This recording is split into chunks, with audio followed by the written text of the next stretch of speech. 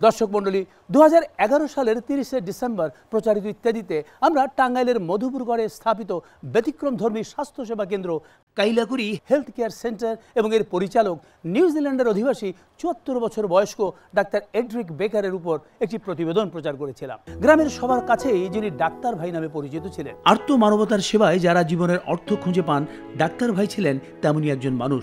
গ্রামের ছায়া সুনিবিড় পরিবেশে স্থাপিত এই হাসপাতালটির সঙ্গে আমাদের চেনা জানা হাসপাতালের কোনো মিল খুঁজে পাওয়া যাবে না। এই হাসপাতালেই টানা বত্রিশটি বছর চিকিৎসা সেবা দিয়েছেন ডাক্তার এড্রিক বেকার গ্রামবাসীর দাবির সঙ্গে একাত্ম হয়ে ইত্যাদির মাধ্যমে তাকে আমরা নাগরিকত্ব প্রদান করার অনুরোধ জানিয়েছিলাম। নাগরিকত্ব লাভের পর দু হাজার চোদ্দ সালের ডিসেম্বর মাসে প্রচারিত ইত্যাদিতে তার অনুভূতি জানতে চাইলে তিনি বলেন, তারপরে আমি খুব কৃতজ্ঞ আপনাদের সবার প্রতি এবং সরকারের জন্য। খুবই সম্ভব দর্শকদের মধ্যে অনেক মেরেখুব ছাত্র আছে। তাই আমি বলতে চাই, আপনারা গ্রাম অঞ্চল ভুলে যাবেন না। এবং গরিব মানুষকে ভুলে যাবে না। মানে গ্রামে গিয়ে যাতে চিকিৎসা দেয় তারা। হ্যাঁ।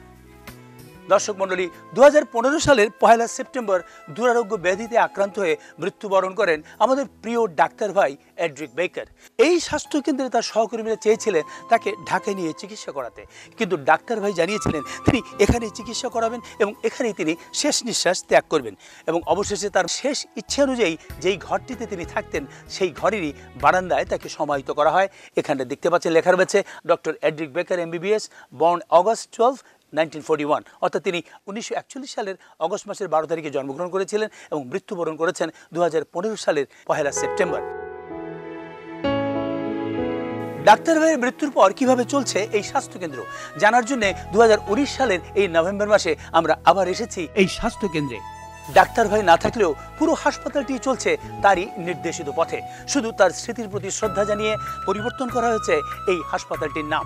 রাখা হয়েছে ডাক্তার বেকার অর্গানাইজেশন ফর ওয়েল বিং ইত্যাদিতে তিনি এই প্রতিষ্ঠানটির দায়িত্ব নেবার জন্য চিকিৎসকদের প্রতি আহ্বান জানিয়েছিলেন। সারা দিয়েছিলেন আমেরিকার এক হৃদয়বান দম্পতি, জ্যাসিন ম্যারিন্ডি দম্পতি।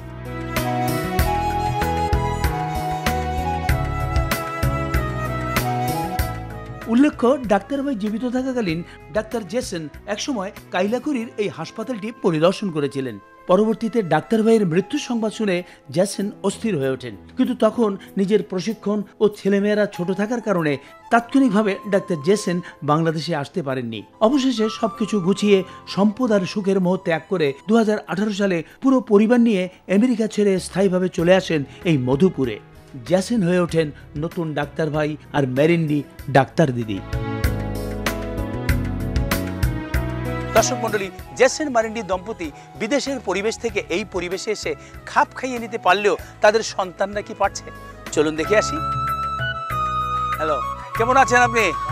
ভালো আছেন আমি আছি ভালো আছি। আছেন তোমার নাম কি? ক্যাথরিন ইতিমধ্যেই সন্তানদের স্থানীয় স্কুলে ভর্তি করিয়ে দিয়েছেন জ্যাসন দম্পতি। খেলাধুলা করছে গ্রামের ছেলে মেয়েদের সঙ্গে।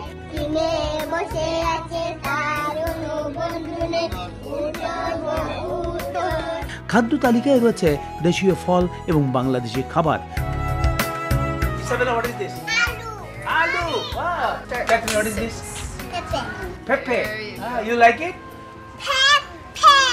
প্রতিদিন ঘুম থেকে উঠে ছেলে মেয়েদের স্কুলের জন্য তৈরি করেন ম্যারিন্ডি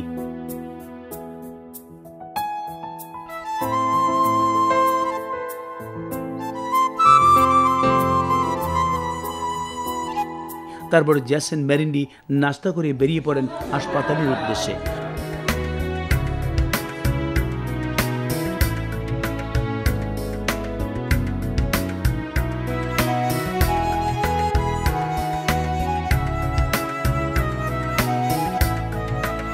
আমরা কথা বলেছিলাম জেসেন মেরেন্ডি দম্পতির সঙ্গে। মেরেন্ডি, এই আপনার সন্তানটা তো খুব ছোট, আমরা দেখতে পাচ্ছি। এখানকার যে খাওয়া দাওয়া বা পরিবেশের দিকে আপনাদের কোনো অসুবিধা হয় না? জাল লাগে না।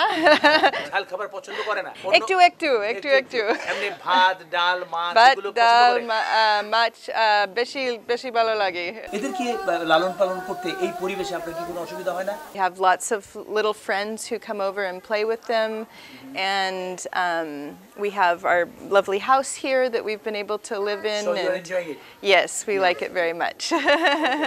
দর্শক মন্ডলী আজকে আমরা ইত্যাদির মঞ্চে আমন্ত্রণ জানিয়েছি সেবায় উৎসর্গকৃত প্রাণ কাইলাকুড়ি হাসপাতালের নতুন ডাক্তার ভাই ডাক্তার জেসেনকে। মঞ্চে আসছেন ডাক্তার জেসেন, তার জন্য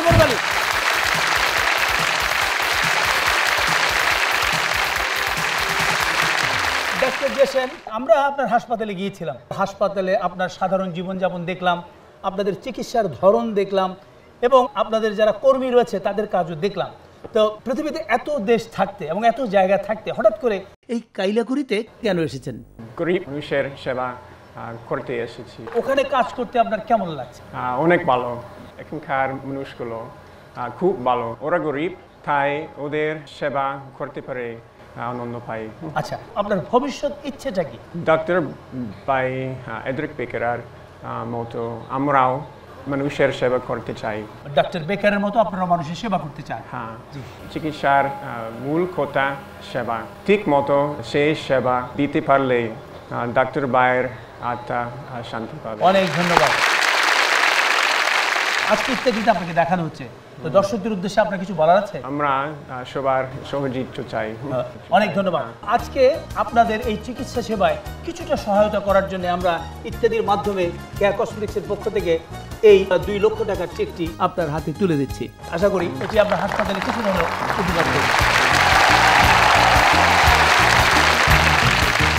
অনেক ধন্যবাদ আপনাকে অনেক ধন্যবাদ ইত্যাদিকে এই টাকা পয়সা আমরা গরিব মানুষের জন্য চিকিৎসা দিব। অনেক ধন্যবাদ ডক্টর জেসন।